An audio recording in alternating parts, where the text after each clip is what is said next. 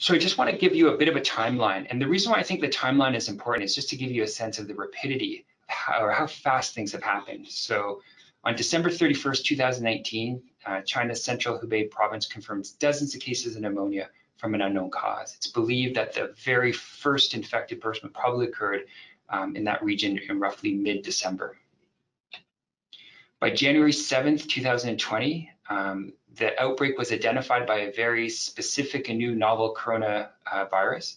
Um, by January 20th, the World Health Organization, WHO, reports the first cases outside of China in Thailand, Japan, and South Korea, meaning that this is no longer disease to one area, one region, but it's now gone outside of country borders. By January 23rd, 2020, the uh, Chinese government realized how serious things were and to mitigate the impact of this infection, they placed Wuhan, a city of 11 million people, under quarantine, strict quarantine.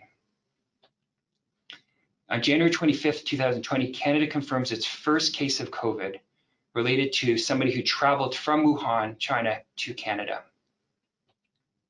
By February 11th, 2020, the disease caused by this new novel coronavirus is given an official name called COVID-19. By March 11, 2020, the WHO declares a global pandemic outbreak of COVID-19. At that time, there was over 100 countries and over 100,000 people who were infected by this novel virus. And today, on March 19, 2020, a, a good news report, China reported no new domestic coronavirus cases the first time since the outbreak began.